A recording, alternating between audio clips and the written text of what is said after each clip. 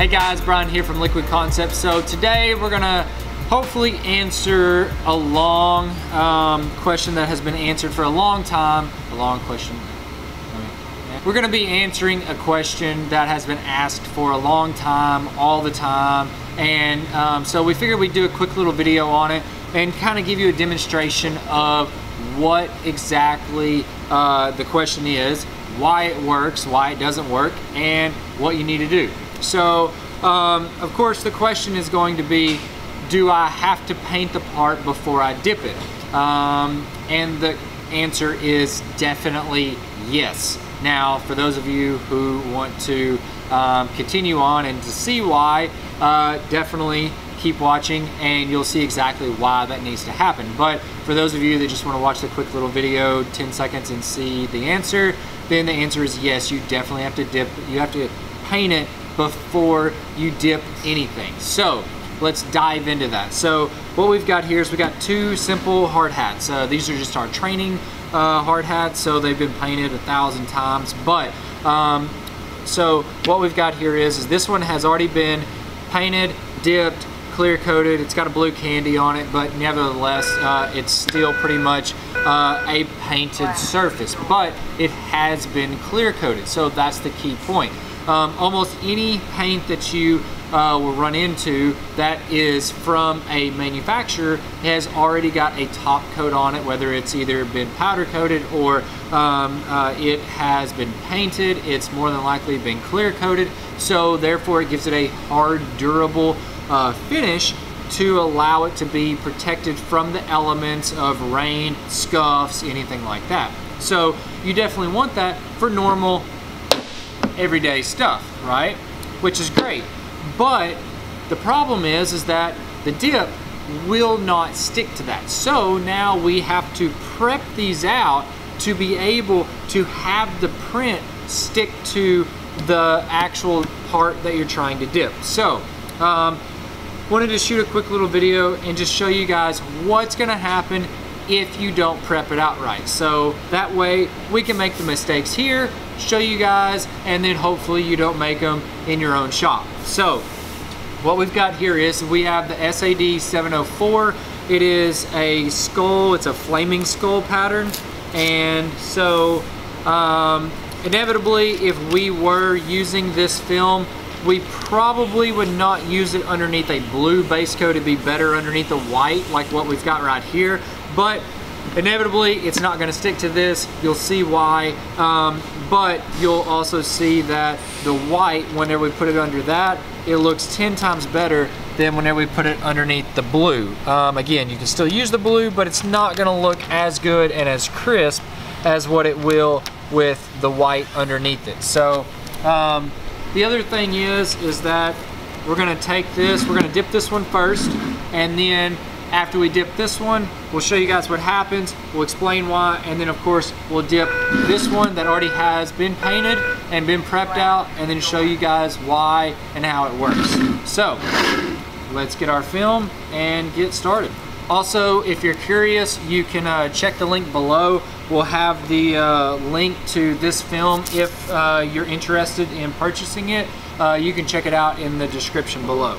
We'll pick this up, lay it in the water, and do the first dip. So this film is really easy to work with, really well behaved. Um, we'll start our timer. So one minute at 80 to 90 degrees on the water. And pretty much from here, we'll start pulling in our dividers. And so you can see the film is starting to wrinkle just a little bit and then it's starting to expand. It's not a big deal. Um, we've got plenty of room for expansion. Now that it's expanded just like what it did, uh, now we can go ahead and pull this in a little bit tighter. Drop this down like that. And of course pull our divider in down here. And now we're ready to activate it whenever our timer goes off. So let's grab some gloves, get the helmet ready, and get ready to dip. All right, so we got one minute on the water. Let's go ahead and activate this.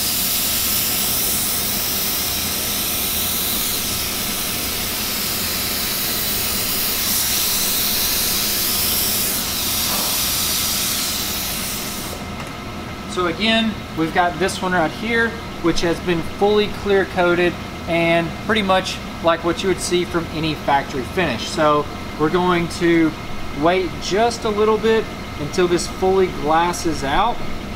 And then once it fully glasses out, then we will be ready to dip it. All right, so let's just go ahead. And on this one right here, we're just literally just gonna go straight down with it. Doesn't really matter on the stretch because again, it will not actually adhere to the surface at all. So now that we've got that right there, we'll pull this back out. And all in all, everything looks pretty good on it, all the way around. But the problem that you're gonna see here is, is that once this is sitting here like this, inevitably it's not going to actually adhere because if you watch, whenever I take and I go to rub this like this, you see how it's already starting to peel off and then literally it's just coming right off of the part. Now again, I'm not pushing it hard or anything like that, but the problem is, is that it's it doesn't have anything to bond to. So therefore, if the clear coat is already fully cured out, then the print has nothing to stick to. So therefore, whenever it doesn't have anything to stick to, then it's just gonna slide right off the print. So, so whenever we go to rinse this and then dry it off, probably 80 to 90% of it is going to be completely rinsed off of the entire part because you have nothing to bond to it. And so that's where the paint is really critical in this step because you have to, of course, prep it out right so that way it sticks to the part itself, whether it be plastic, metal, uh, skulls, or anything like that. Then, once you have it prepped out right, then you have to paint it. And so the paint doesn't fully cure out until a certain amount of time. And so that's where what we call a dipping window comes into play. So with the paint that we have, um, and you can see in the description below with the link on it, um, the paint that we have, we have been able to get upwards of a month or two dipping window out of, which is more than enough. Most of the time, you can dip to it within probably 10 to 15 minutes right after you've sprayed it, which is in, uh, really good. And so the good thing about that is, is that because it's not fully cured out, it will actually bond into the paint, which is exactly what you want. Instead of right now, whenever we're sitting here and just letting it sit like this, you can see as I just wipe this off, I mean, literally it's just coming off completely. Just even just wiping that off just like that. Even up here on top, you can see if I just take my hand like this, it's literally just wiping off everything all the way around. So, of course, whenever we go to rinse this, it's not gonna stick. So, let's reset. Let's get our painted part that we've got right now and throw the film in the water, let it sit. We'll do the same thing with it and show you guys a totally different result. So keep watching. All right, so now that we've got everything glassed out, again, we'll just take this and go straight down with it and we'll show you guys the difference on this.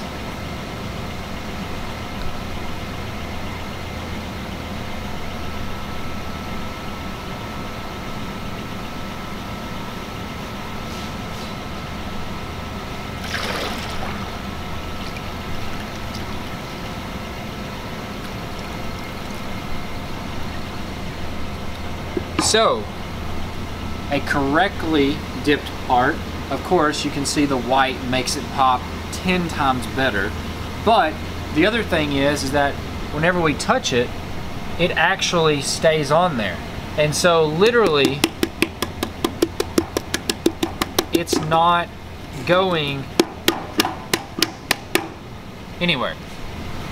So, as you can tell, a correctly dipped and correctly activated part, it holds very well and that's the key to making the hydrographics work. Of course there's a lot more keys than just that one, but you can quickly see that any part that you have, even if you needed a black base coat and your part is already black, you still have to prep it out and paint it black again to get the actual paint on the part so that way the part will be able to accept the dip correctly. Because as you saw a factory painted part or any type of part that already has a clear coat or some type of hard coating over the top of it definitely not going to work.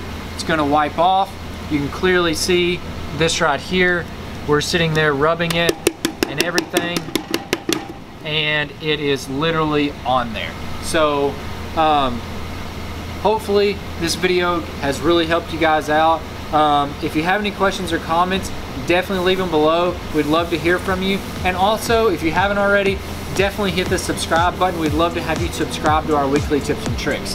I'm Bryan from Liquid Concepts and this is how we customize your world. We'll see you guys next time